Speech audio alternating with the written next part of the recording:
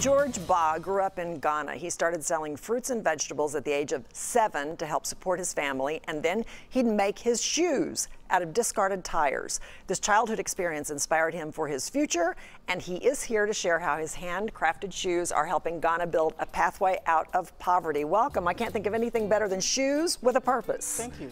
And you live in Fort Worth now. Yes. So give folks the brief description of how you got to Fort Worth. I grew up in Ghana and as a, as a child I went to technical school and technical school didn't provide a path for me to go to university. So the only way for me to go to university is to go out of the country. And when I finished my first four year of technical school, I saved money, and within two years, I saved twenty dollars. Twenty dollars. I said two hundred. He said no, twenty. I saved twenty dollars. And that's what I used to pay for the application fee. And one of my relatives, who was a wife, who's an American, helped me with the remaining.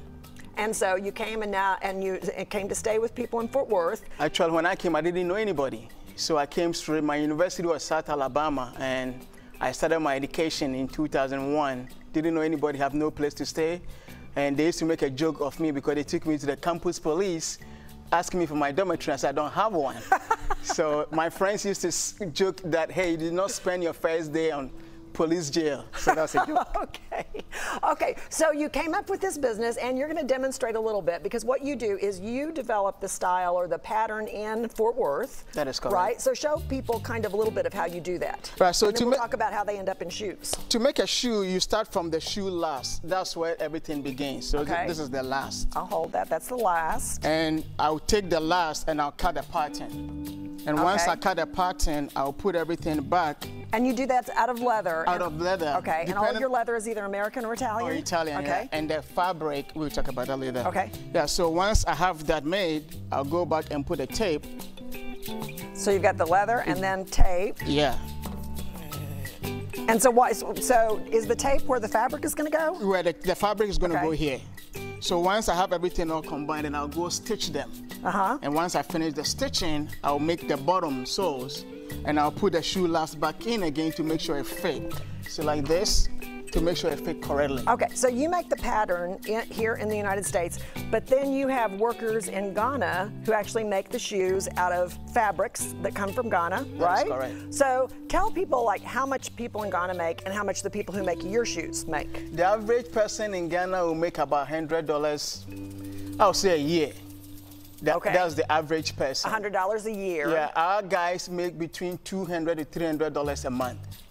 Wow. So you, so people are really fortunate to work for you. That is correct. So are so you're not only helping the people in Ghana make more money, but also then part of your money goes to help people. So explain that, and then we're going to look at some of these cool shoes. Yeah, it is better to teach people to fish than to fish for them. So what this. we do is we train them and give them skills so that they can make this and once we sell, they can sustain themselves. Okay. So you do six different styles of shoes. Which one is your most popular?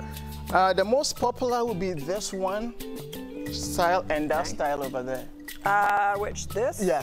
This one and this one. Okay. That's a Yeah. mismatched pair we've got right there.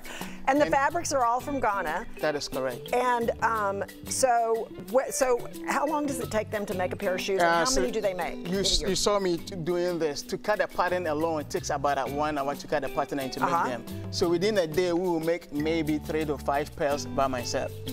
Okay, so they make the shoes there, and then where can people buy them? Because I absolutely love this concept. I think it's wonderful, and the shoes are really fun and cool.